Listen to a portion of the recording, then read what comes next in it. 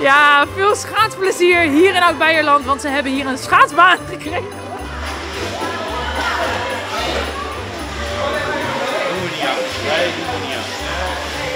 Wat vind jij van de ijsbaan? Nou, ik ben er best wel blij mee, want het is eindelijk een keer naar Beierland, want anders moet je zo ver rijden.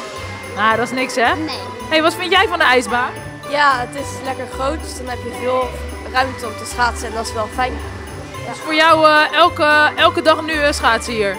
Nou, misschien niet elke dag, maar het is wel leuk om te schaatsen. Hey, en eh, kan jij een beetje schaatsen? Ja, ik kan heel goed backschuiven.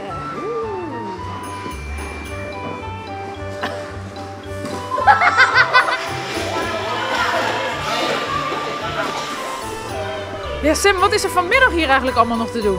Nou, vanmiddag wordt de baan officieel geopend door onze burgemeester.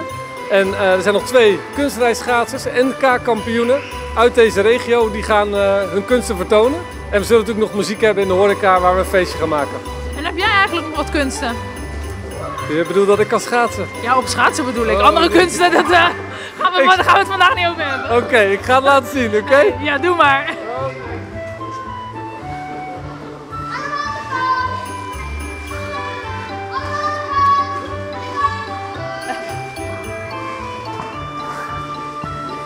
Ja, dames en heren, tot zover RDB Rijnmond van vandaag. Voor meer nieuws kijkt u natuurlijk op de Rijnmond app of op Rijnmond.nl. En het nieuws is er morgen weer hier naar Bureau Rijnmond. Oh, wat heerlijk.